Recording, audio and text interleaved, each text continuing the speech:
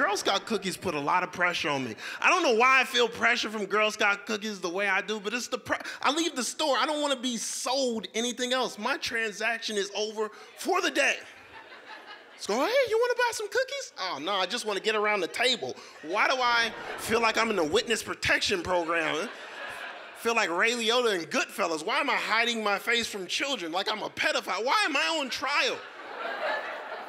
Gotta buy some cookies. I don't what, what, what did the Girl Scout about? Do you know what the Girl Scout?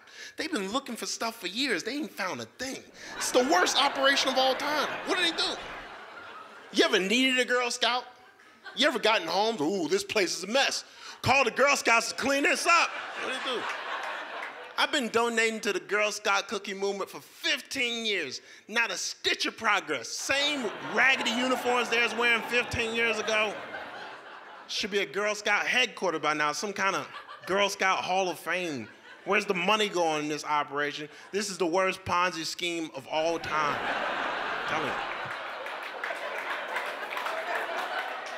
I asked, I asked the parent, it was nice to do it. I asked, hey, what, what did the Girl Scouts? Oh, we teach them how to be respectable women. Oh, no, you teach them how to prostitute. That's what you're doing.